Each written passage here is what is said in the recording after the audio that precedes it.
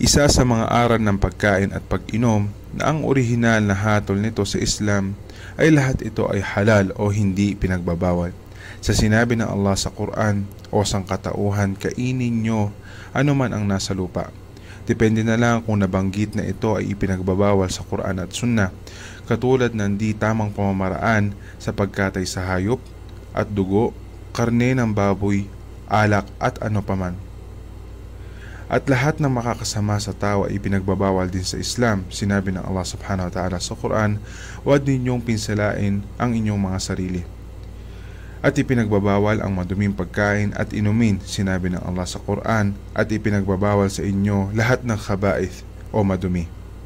At mahigit din na ipinagbabawal ang droga sa lahat ng klase nito sa sinabi ng Propeta Muhammad sallallahu alaihi wasallam, lahat ng nakakalasing ay alak at lahat ng alak ay haram o ipinagbabawal.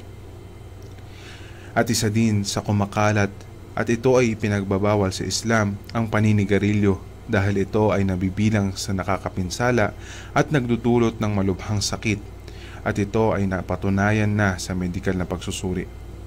At ipinagbabawal din ang pag-inom ng pampagising at ang pampatulog kung hindi rin ito kailangan dahil ito ay magdudulot ng pahamak sa iinom.